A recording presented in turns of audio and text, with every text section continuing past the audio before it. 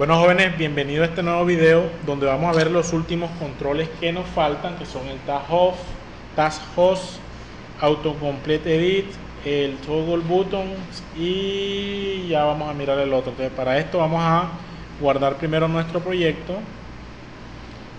y vamos a crear nuestra carpeta. Será el 08 Tab Host auto complete edit. Toggle button. Vamos a dejarlo ahí para que no tenga tanto ok tab hot edit. Y toggle button. Listo, entonces así va a llamar nuestro proyecto. Vamos a hacer nuestro diseñador, Open Designer. ¿Y qué es nuestro tab host? El tab host básicamente es un contenedor. Veámoslo acá en el ejemplo que tiene Basic for Android. Pues un, como un contenedor de páginas. Entonces vamos a agregar uno y lo demás lo vamos a agregar es por código. Entonces vamos a agregar nuestro tab host. Y voy a decirle que que va a ser el 100% de x y tabhost.h va a ser el 100% de y para que esté al para que esté al, al en toda la pantalla. Listo y layout tab host como no deja lo voy a abrir otra vez. Ok.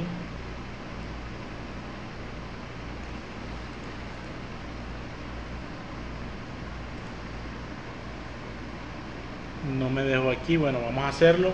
File save y vamos a abrir mi pantalla y voy a agregar mi componente host y vamos a hacerle el host chains para que veamos este evento. Entonces lo que vamos a hacer vamos a agregar los botones que nos hacen falta en este caso. Nos hace falta nuestro autocomplete edit nuestro eh, lead view y nuestro eh, toggle button. Entonces vamos a agregar el, el se usa de la siguiente manera, pues hay que agregar, agregar un tab, hay que agregar un tab, es decir, una, una pestaña, de esta manera, entonces vamos a cargar primero nuestro layout,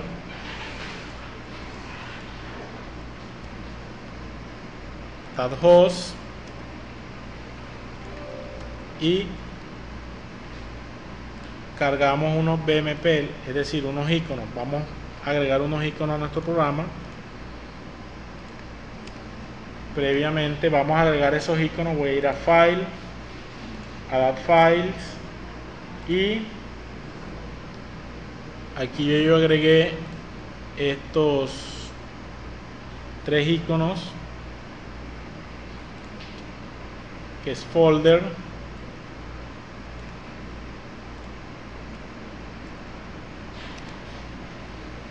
folders y share que buscar. Bueno el objetivo que vamos a hacer es mostrar cómo funciona el tab host listo aquí está.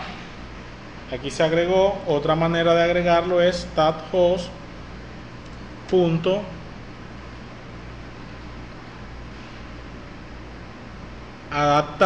que viene desde un layout, el Adapt 2, Title and View. Entonces,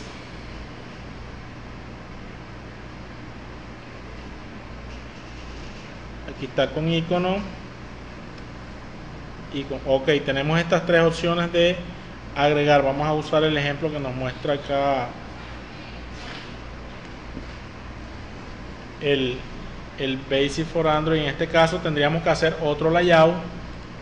Voy a crear un nuevo layout y en este layout voy a agregar mi autocomplete edit. El autocomplete edit, como su nombre lo dice, voy a cambiarle el nombre a auto edit. El autocomplete edit, como el nombre lo dice, él lo que hace es eh, que nosotros vamos escribiendo y nosotros le sugerimos eh, algo, de, algo en el texto. Y entonces tiene esa parte. Vamos a ver si él nos deja aquí mismo agregarle en esa, en esa propiedad.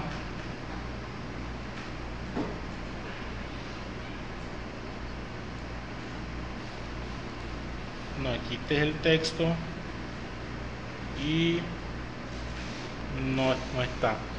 Entonces vamos a, vamos a agregarlo y le voy a agregar un, un label.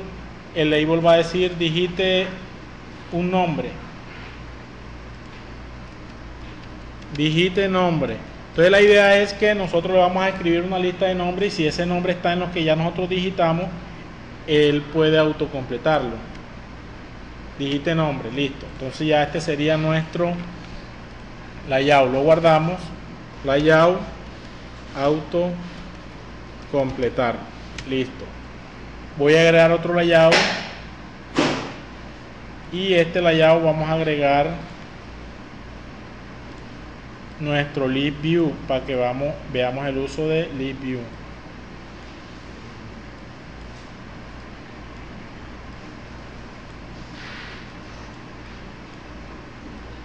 y vamos a agregar un botoncito para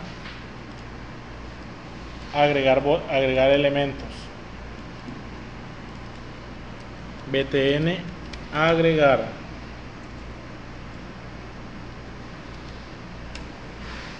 Listo y aquí tenemos nuestro se frío nuestro list view. Vamos a centrarlos horizontal ambos para que queden aquí. Ok. Y guardar layout list y en este layout list también voy a agregar mi toggle button. El toggle button pues simplemente es un botón que tiene dos estados. Toggle button eh, cambiar. Va a hacerle aquí cambiar color y guardar.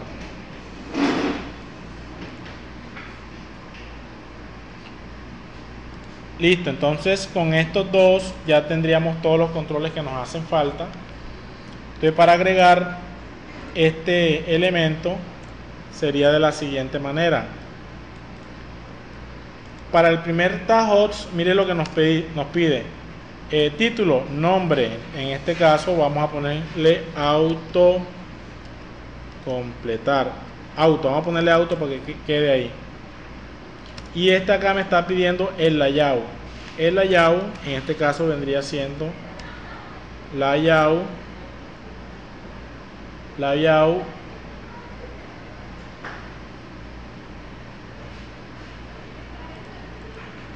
Vamos a ver. No, no puse autocompletar, sino autocompletar. Layout, auto, completar. Punto, así está. Ahora sí.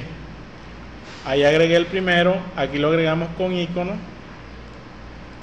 Este icono sería default y este sería el seleccionado. Entonces vamos a ponerle que los dos sean el mismo icono me voy a copiar para que sea con icono los dos. Y aquí sería list y para el list vamos a hacer que sea el icono 2 ok. Y aquí sería la layout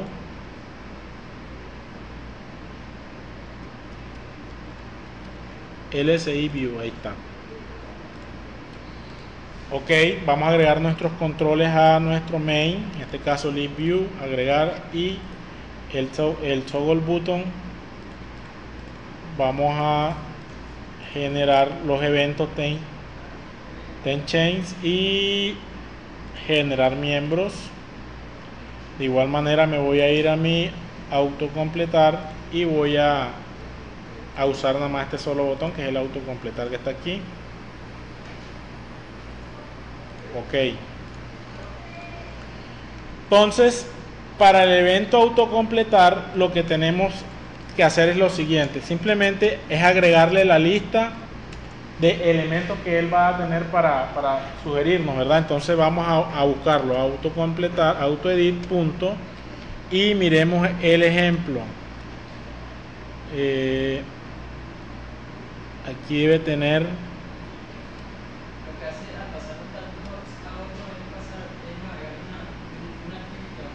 no un tajots a otro son digamos que son como páginas dentro de la misma actividad. Ya páginas dentro de la misma actividad. Ya vamos a ver cómo se ve ahí a ver. Aquí está set items y set item 2 en este caso dicen set item a list entonces cómo hacemos para agregar esos elementos creamos una lista lista as list como él me está pidiendo una lista. Como es un objeto diferente es importante aquí como es un objeto diferente a lo, a que son eh, variables ¿qué toca hacer? un objeto diferente a una variable toca que inicializarlo. Entonces vamos a hacer lista punto inicializate ok. Y a la lista simplemente para agregarle un elemento son add y para agregarle add simplemente se le agrega ahí ya voy a colocar Fabio. Y lo voy a copiar. Eh, José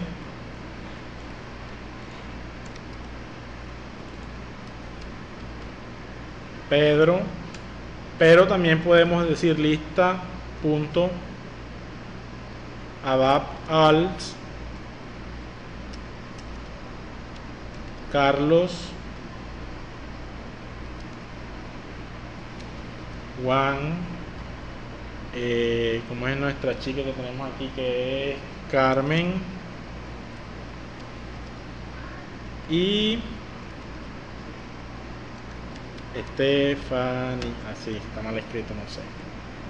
Entonces agregamos todos los nombres y le agregamos la lista simplemente. Ya de esta manera aquí simplemente llenamos elementos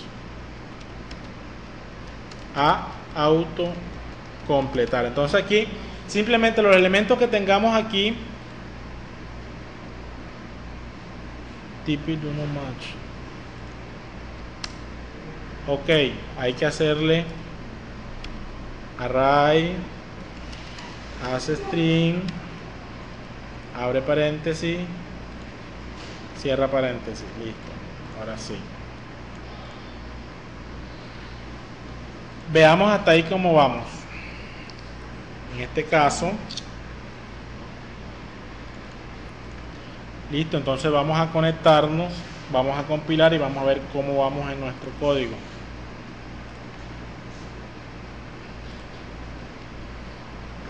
Entonces está compilando, esperemos que compile.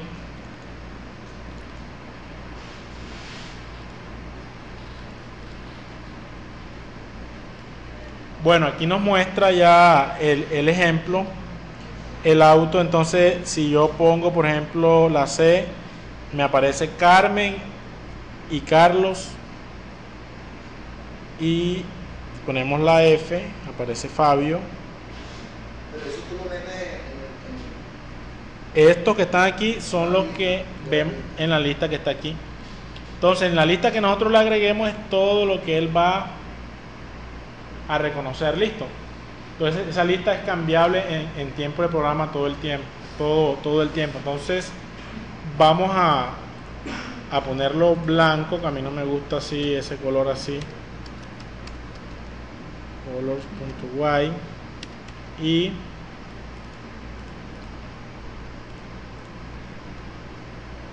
punto título.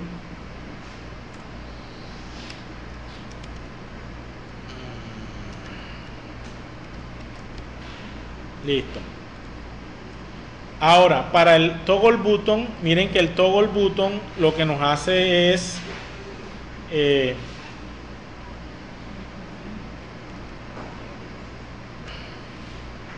vamos a ver aquí él dice debe tener un get.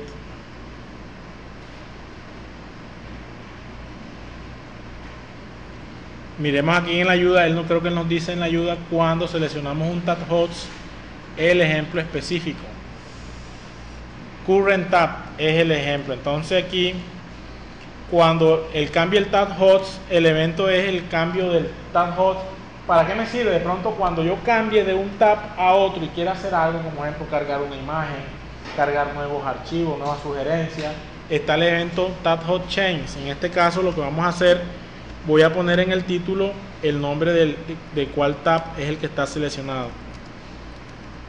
Y vamos a, voy a poner tab host igual a tab host punto current tab mire el, current tab él simplemente me dice el puedo, puedo tanto, tanto agregarlo, setearlo como eh, es lectura y escritura. Puedo ponerlo y, puedo quitarlo. Cuando cambie, pues que me ponga ahí simplemente. Entonces le vamos a agregar un menú entonces ahora para seleccionar la pestaña que nosotros queremos. Listo. Vamos a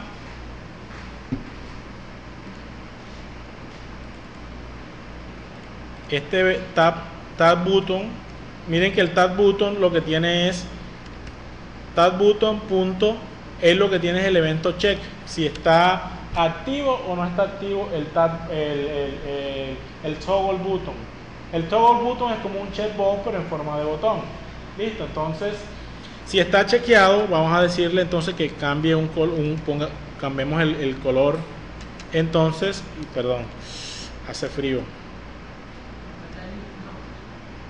Falta el if si el tab cambiar color. Si no si está chequeado vamos a hacer que la actividad punto colors va a ser igual a vamos a agarrar un color especial color picker. Agarrar un, un marroncito como un moradito como este.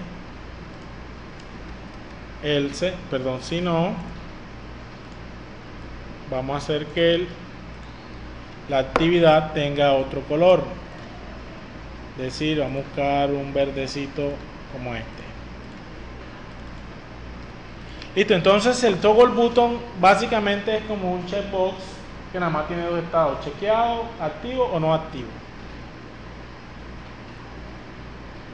Y vamos a agregar nuestro menú al principio para eh, que diga activity punto vamos a agregar un menú para ítem 3 vamos a decirle que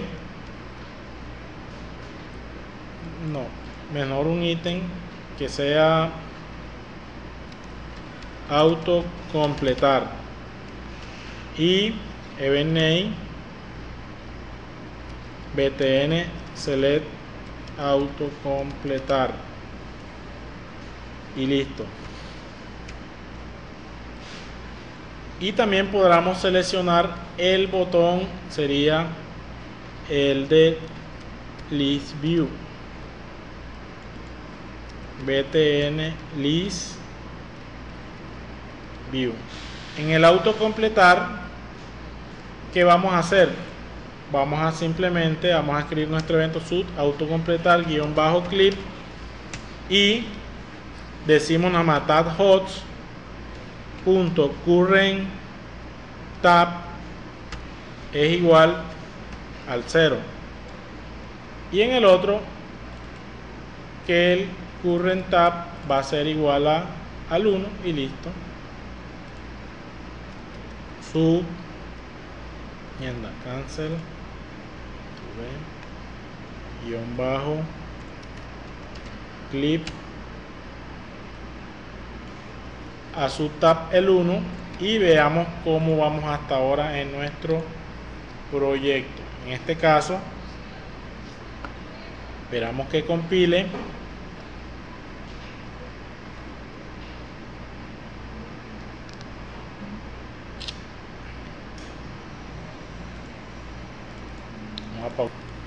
Instalamos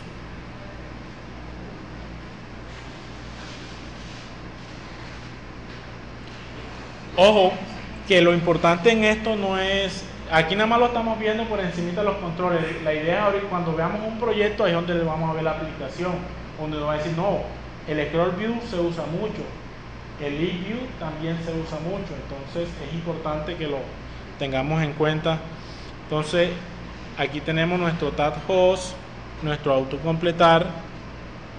Ah, como tenemos el título, no, se nos ve. Aquí cambiamos el color, aquí cambiamos los dos colores con el botón. En este tab host, como teníamos ahorita, ahí autocompleta. Y tendríamos que hacer ahora en nuestro list view cómo usar el, ejemplo del Lead View. El Lead View eh, tiene diferentes maneras. Vamos a mirar, vamos a buscar un ejemplito directamente en la web. A ver para ver qué ejemplito nos muestra por ahí del uso del Lead View. El Lead View podemos hacerle dos, hacerle dos líneas, agregarle imágenes y sirve más que todo eh, para mostrar como una lista de, de cosas, servía como un spinner bueno, vamos a ver. View sample. Basic for Android. Basic for Android. Y vamos a ver qué, qué vemos en el tutorial y de ahí nos los copiamos para hacerlo acá. Ahí agrego una línea simple.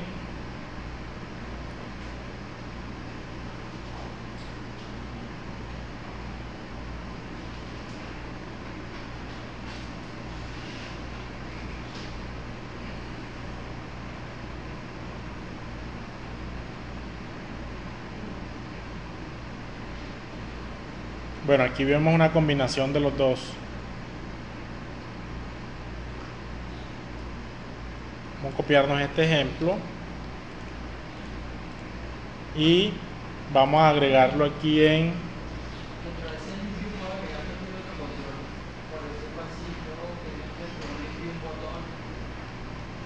dentro de un list view un botón si no estoy mal view vamos a ver view punto. Mirar los eventos adapt single line él no creo que él, nada. En los que puedes agregar son en los que son contenedores. ¿cuáles son los contenedores? un panel un scroll view un horizontal scroll view. Esos son los que puedes agregar controles o sea vistas dentro de la otra vista. Los únicos que aceptan son esos listos él no en este caso, aquí vamos a hacer que con el botón clip, él nos muestre y, nos agregue las imágenes. En este caso, hay un bitmap. Me voy a copiar el bitmap. Vamos a crearlo acá. Y la imagen va a ser de las que nosotros tenemos. Helps. Vamos a agarrar el de la ayuda. Ok. Miren, entonces el, el View es para mostrar texto e imagen al mismo tiempo. Miremos acá en la imagen, aquí puede mostrar una imagen con un texto independientemente de otro. ¿Para qué sirve eso? Por ejemplo, si estamos haciendo, por ejemplo, un sistema de búsqueda, ¿verdad? Entonces yo quiero agregarle un icono, un, un texto ahí, y ahí lo puedo hacer. Es decir, para una búsqueda, yo busco, busco los nombres que tengan imagen, ahí pego la imagen, pego el nombre y cuando le dé clic, él me genera un evento. Vamos a ver, vamos a, vamos a generar ese evento. en el list view agregar vamos a agregar el evento ítem clip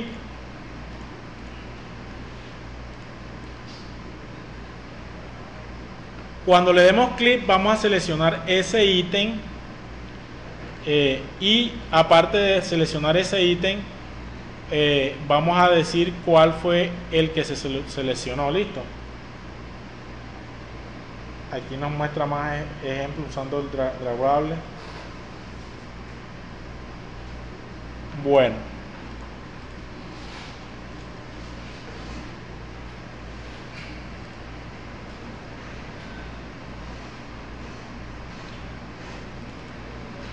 yo este evento no lo he manejado así que vamos a preguntarle a Basic for Android.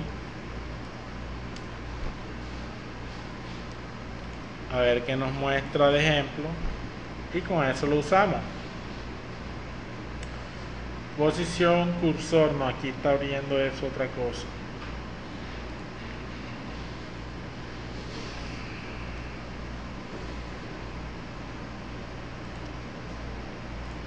Y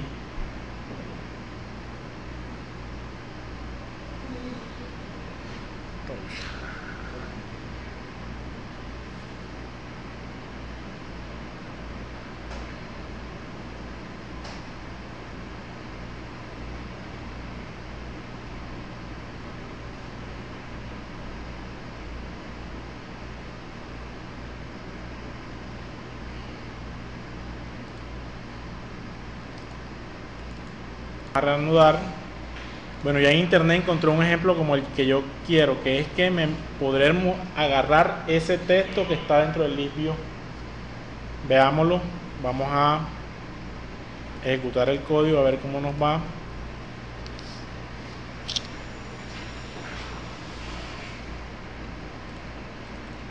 Grande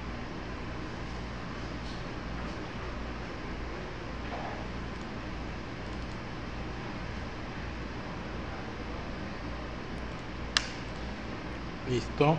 Vamos al segundo tab host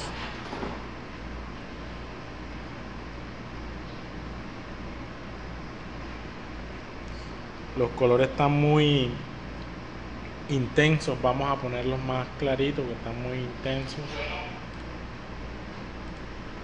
Entonces en el button colors cambiémosle aquí algo un poco más suave.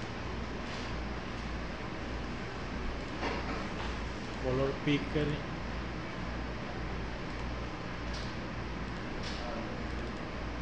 Ok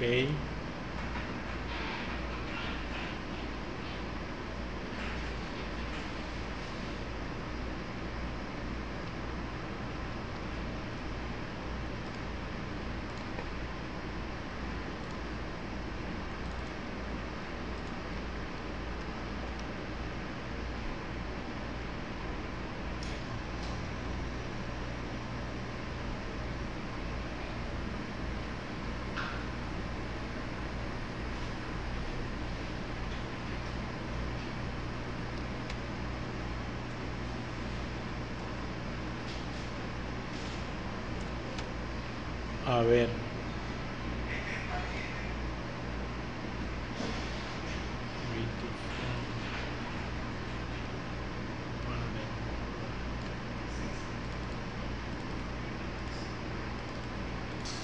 Bueno, esta es la continuación del video anterior, sino que se me borró. Quería mostrarles cómo, cómo,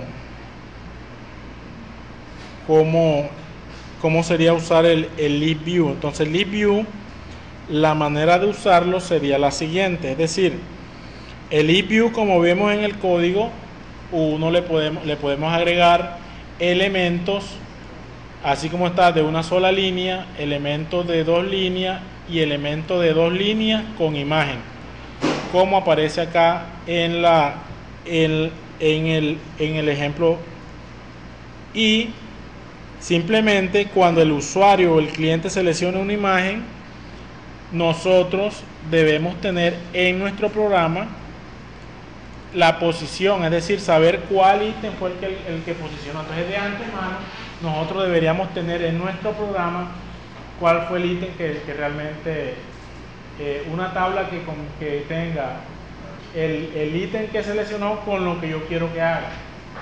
Es decir, por ejemplo, si es un producto o una pregunta, por ejemplo, vamos a hacerlo con un producto. Si es un producto, entonces yo lo que hago que en un, vector yo voy a agregar el código, la posición versus al lado en la segunda posición voy a colocar el código del producto. De tal manera que cuando él me diga seleccionó el ítem 0, para mí es el, ah, el producto 0, el producto 0 es el código 21. Eso también es lo que hace Visual Basic. ¿Qué hace Visual Basic cuando tú usas un combo box y lo enlazas a una base de datos que tú en la base de datos no quieres agarrar género masculino, género femenino, no, tú en la base de datos quieres guardar, mandar 0 o 1. Y por eso que está el item value, el, index value, y dependiendo de lo que nosotros queremos usar. Entonces, entonces a eso se refiere. Entonces, un libbox hay que usarlo de esa manera, listo, como si él nada me va a volver la posición y yo aparte tengo que tener relacionado en algún lado la posición con lo, lo que, con lo que se hizo. Ejemplo, si yo nosotros lo quisiéramos así nada más, vamos a hacerlo nada más con estos primeros tres ítems, de tal manera 1, 2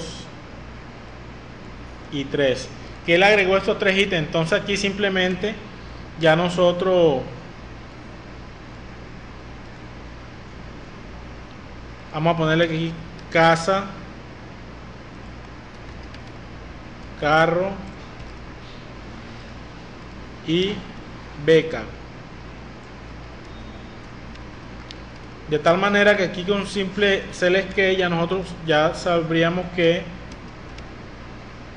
de antemano que eh, la posición caso 0 ya decimos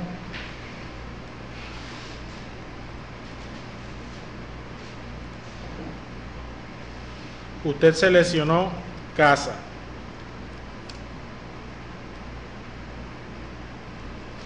Caso 1. Usted seleccionó carro. Y caso 3, caso 2,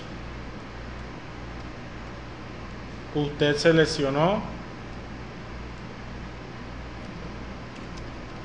beca. Compilemos y miremos que ya con eso hay que tener esa relación de qué es lo que, de antemano, qué es lo que se guardó para saber qué fue lo que se hizo ahí. Entonces,